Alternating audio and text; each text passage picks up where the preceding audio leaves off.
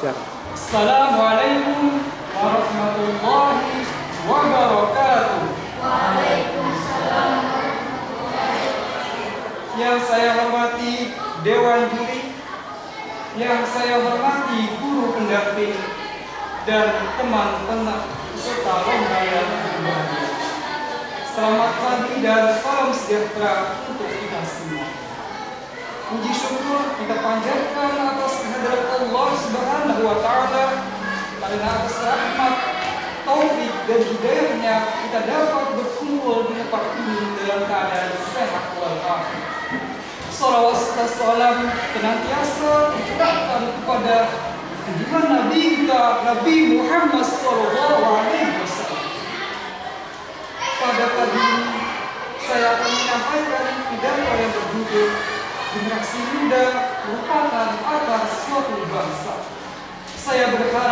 dari pidato saya ini teman-teman dapat menerapkan pesan-pesan yang tersimpan dalam kehidupan sehari teman-teman yang saya banggakan.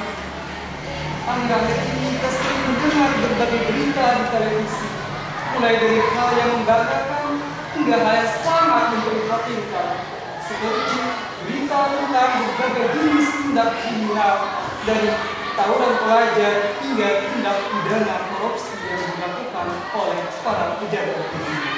Berita-berita tersebut menjadi hal yang biasa untuk kita dengar setiap harinya, Padahal jika kita tolak berita-berita tersebut merupakan bukti yang nyata bahwa bangsa kita ini masih banyak mengalami kekurangan, terutama dalam hal kualitas sumber daya manusia. Teman-teman yang saya banggakan, kita ketahui bersama bahwa hal tersebut dapat terjadi karena disebabkan oleh berbagai hal, di antaranya kualitas pendidikan yang diterima.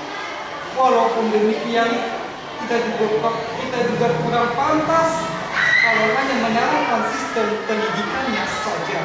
Karena kita juga harus mengintrospeksi diri kita apakah kita sebagai peserta didik sudah melakukan tanggung jawab kita sebagaimana mestinya.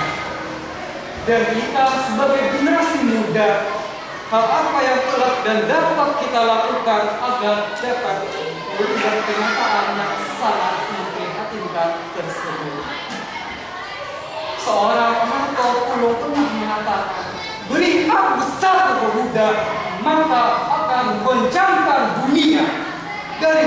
tersebut, kita dapat melihat betapa pentingnya generasi muda yang berkualitas di dalam suatu bangsa dan negara di dalam sejarah bangsa Indonesia tidak dapat kita pungkiri bahwa pemuda memiliki peran yang luar biasa sebagai ujung tombak perubahan bangsa Indonesia. Hal tersebut bukan hanya merupakan omong kosong yang tidak memiliki dasar, melainkan merupakan sebuah kenyataan yang telah memiliki. Contohnya generasi Sumpah Pemuda yang merupakan tonggak kebangkitan lahirnya sadar akan pentingnya kehidupan berbangsa dan bernegara. Wahai generasi muda harapan bangsa menjadi sosok yang kita saja tidak cukup.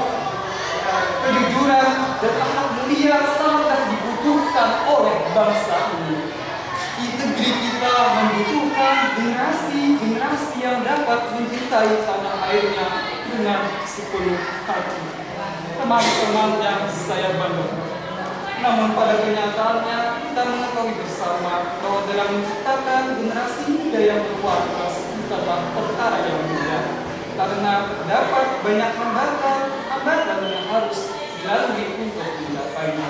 Sebab tidak sedikit generasi muda yang memiliki anggapan bahwa masa muda adalah suatu masa di mana kita dapat mencoba segala hal.